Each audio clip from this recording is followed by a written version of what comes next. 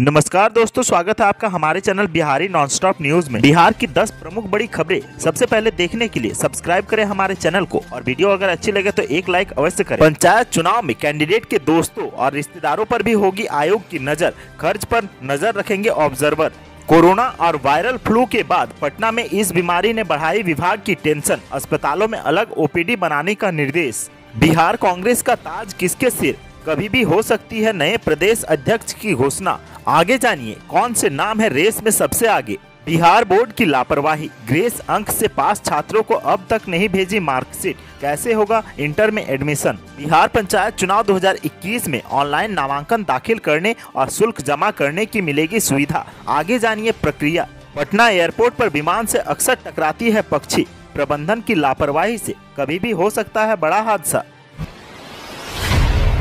बिहार में पंचायत चुनाव का बिगुल बजने के बाद निर्वाचन आयोग द्वारा कई गाइडलाइंस जारी की जा रही है। ऐसे तो आमतौर पर प्रत्याशियों के खर्च पर नज़र रखने की कोई मुकम्मल व्यवस्था नहीं रही है, लेकिन इस बार राज्य निर्वाचन आयोग ने ऑब्जर्वरों को यह टास्क सौंप दिया है। मिली जानकारी के अनुसार इस बार पंचायत चुनाव में तैनात किए जाने वाले ऑब्जर्वर प्रत्याशियों के मित्रों एवं संबंधियों के साथ उनके समर्थकों द्वारा किए जा रहे खर्च पर पैनी नज़र रखेंगे। ऑब्जर्वरों को अगर लगता है कि किसी प्रत्याशी के दोस्त, मित्र या रिश्तेदार चुनाव में पानी की तरह पैसा बहा रहे हैं तो वो इसकी रिपोर्ट आयोग को भेजी जाएगी। बता दें कि चुनाव के मद्देनजर तैनात किए जाने वाले ऑब्जर्वरों का टास्क आयोग ने निर्धारित कर दिया है। इसके तहत ऑब्जर्वर मतदान दल के कर्मियों की ट्रेनिंग बैलेट बॉक्स ईवीएम एवं मतदान सामग्री की व्यवस्था पर नज़र रखेंगे। साथ ही मतदान केंद्रों पर की गई व्यवस्था, सशस्त्र बल एवं मजिस्ट्रेट की प्रतिनियुक्ति, मतदान समाप्त होने के 48 घंटे पहले चुनाव प्रचार रोके जाने पर नज़र रखेंगे। इसके साथ ही अवैध शराब की बिक्री एवं अन्य संबंधित मामलों की भी समीक्षा कर सकेंगे। बिहार में वायरल फ्लू के साथ साथ अब आई फ्लू का भी हमला शुरू हो गया है। तीन दिन से लगातार पटना के आईजीएमएस व पीएमसीएच के नेत्र रोग विभाग में मरीजों की तेज़ी से आना शुरू हो गया है। इसमें सबसे अधिक युवा वर्ग के लोग शामिल हैं। वहीं मरीजों की संक्रमण न फैले, इसके लिए ऐसे मरीजों के लिए अलग से ओपीडी की व्यवस्था करने के निर्देश जारी किए गए हैं। आईजीएमएस के नेत्र रोग विभाग अध्यक्ष डॉक्टर विभूति प्रसन्न सिन्हा ने बताया है कि इस समय आई फ्लू के मरीजों की संख्या में तेज़ी से इजाफा हो रहा है। मरीजों को परिवार के बीच सतर्कता बरतने के भी सुझाव दिए गए हैं। गुरुवार, शुक्रवार व शनिवार को डेढ़ दर्जन से ज़्यादा मरीज़ ओपीडी में इलाज को पहुँचे। वहीं नेत्र रोग विशेषज्ञ डॉक्टर सुनील कुमार सिंह ने बताया कि यह इन्फेक्शन पैदा करने वाले वायरस के कारण होता है। यह वायरस बहुत तेज़ी से आँखों में फैलने लगता है। बिहार कांग्रेस पार्टी में फेरबदल का काउंटडाउन शुरू हो चुका है। बताया जा रहा है कि पार्टी आलाकमान राज्य में नए प्रदेश अध्यक्ष का ऐलान किसी भी वक्त कर सकती है। बिहार में कांग्रेस अध्यक्ष मदन मोहन झा का कार्यकाल अगले माह खत्म होने जा रहा है। नए कांग्रेस अध्यक्ष पद की रेस में अनिल शर्मा और विधायक राजेश राम का नाम सबसे आगे है। सूत्रों से मिली जानकारी के अनुसार झारखंड के बाद अब बिहार में भी कांग्रेस के नए अध्यक्ष बनाए जाने की कवायद शुरू हो गई है। बताया जा रहा है की आलाकमान ने पिछले दिनों प्रदेश प्रभारी भक्त चरण दास से नाम भी मांगे हैं। माना जा रहा है कि नामों का ऐलान कभी भी पार्टी की ओर से की जा सकती है। कांग्रेस सूत्रों की माने तो कटुम्बा से विधायक राजेश राम का नाम प्रदेश अध्यक्ष पद की रेस में सबसे आगे है। दरअसल, प्रदेश प्रभारी भक्त चरण दास ने हाईकमान से सिफारिश की है कि प्रदेश में किसी दलित चेहरे का अध्यक्ष बनाया जाए। वहीं अशोक राम भी अध्यक्ष बनने की रेस में शामिल है। इसके अलावा, अनिल शर्मा का नाम भी सबसे तेज़ी से चल रहा है। हालाँकि, अंतिम फाइनल आलाकमान को करना है। बिहार विद्यालय परीक्षा समिति की लापरवाही के कारण प्रखंड क्षेत्र के उच्च विद्यालय सिमरी, उच्च विद्यालय परसोनी, मुरलियाचक सहित कई उच्च विद्यालयों से ग्रेस अंक के आधार पर मैट्रिक पास छात्रों का रिज़ल्ट फेल आने से छात्रों में निराशा दिख रही है। विदित हो कि वर्ष 2021 में आयोजित मैट्रिक परीक्षा के घोषित परिणाम के बाद दो विषयों में फेल हुए छात्रों को ग्रेस मार्क्स देकर पास कर दिया गया था। रिज़ल्ट भी वेबसाइट पर प्रकाशित कर दिया गया था, लेकिन अंक पत्र व टीआर में फेल रहने के कारण आगे की पढ़ाई बाधित हो रही है। ग्रेस अंक के आधार पर सफल छात्रों ने इंटरमीडिएट में एडमिशन के लिए ऑनलाइन आवेदन भी किया। कॉलेज या प्लस टू के विद्यालय के निर्धारित कट ऑफ़ मार्क्स के आधार पर छात्रों का एडमिशन के लिए प्रथम मेगा सूची में नाम भी आ गया। लेकिन जब बिहार विद्यालय परीक्षा समिति द्वारा विद्यालय को टीआर एवं अंक पत्र भेजा गया। तो उसमें ग्रेस मार्क्स के आधार पर पास किए गए छात्रों को फेल दिखाया गया है, जिसके कारण छात्रों का इंटरमीडिएट में एडमिशन मुश्किल हो गया है। ग्रेस अंक के आधार पर पास हुए छात्र छात्राओं ने कहा है कि इंटर में एडमिशन के लिए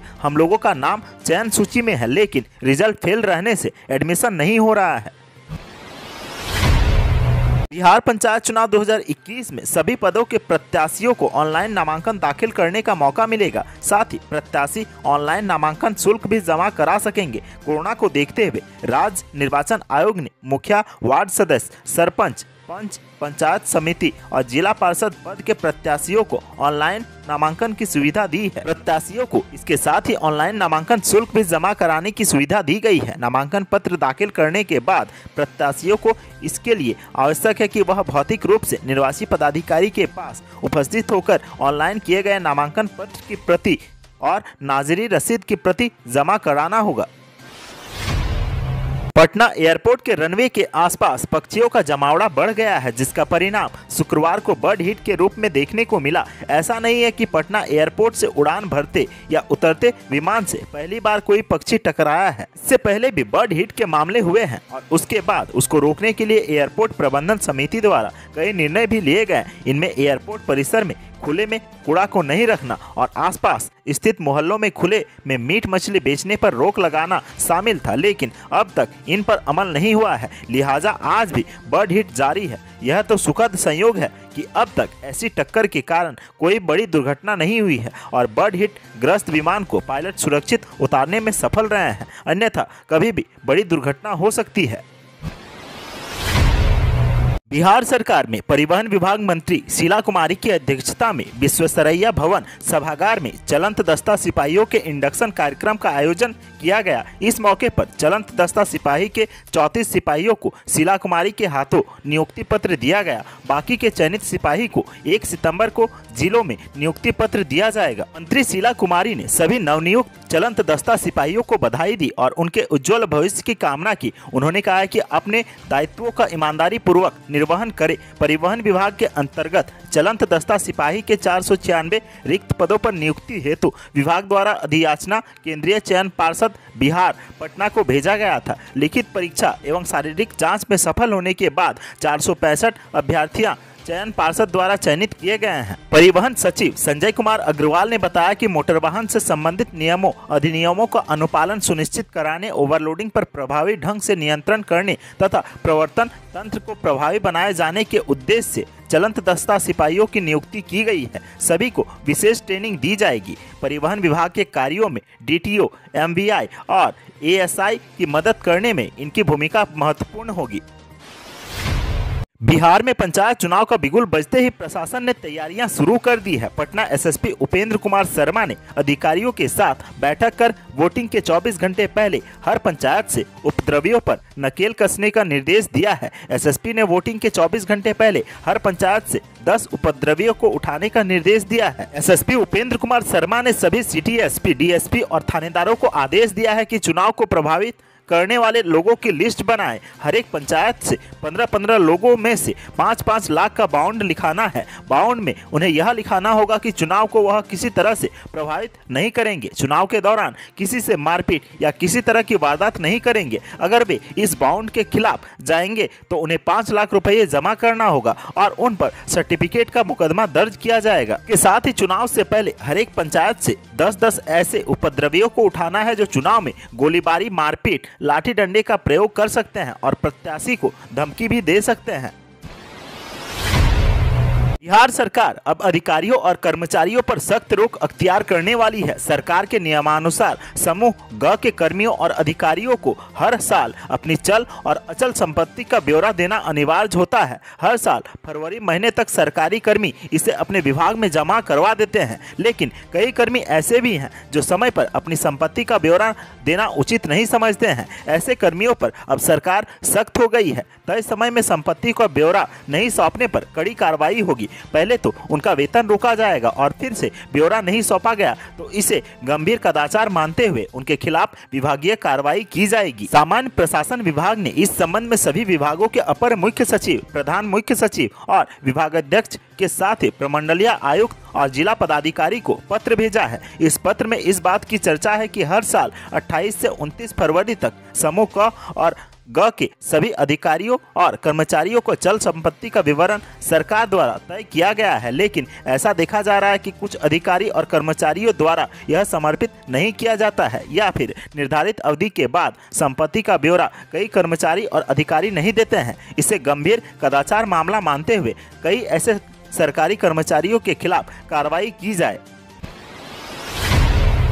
अनुकंपा पर नौकरी को लेकर नीतीश सरकार ने एक बड़ा फैसला किया है। सरकार ने तय किया है कि सेवाकाल के दौरान मरने वाले शिक्षकों के आश्रितों की बहाली को लेकर अब नई अधिसूचना जारी की है। राज्य के राजकीयकृत प्राथमिक, मध्य विद्यालय, माध्यमिक एवं उच्च माध्यमिक स्कूलों में राज प्रमंडल, जिला संवर्ग के प्रधानाध्यापक, शिक्षक, कर्मी की सेवाकाल में मृत्यु के उपरांत आश्रितों के नियोजन या नियुक्ति को लेकर शिक्षा विभाग ने शुक्रवार को अधिसूचना जारी की है। सुप्रीम कोर्ट के 3 अप्रैल 2017 के आदेश के अनुपालन में यह जारी किया गया है। अधिसूचना के मुताबिक 1 जुलाई 2006 के प्रभाव से उक्त कोटि के शिक्षकों के पद पर रहते हुए मृत्यु होने के कारण प्रमंडलीय संवर्ग या जिला संवर्ग के सहायक शिक्षक के पद पर अनुकंपा की नियुक्ति नहीं की जाएगी। इस तय समय सीमा के पहले मृत हेडमास्टर, शिक्षक, कर्मी के जिन आश्रितों का सक्षम प्राधिकार यथा जिला अनुकंपा समिति द्वारा 1 जुलाई 2006 के पूर्व वर्ग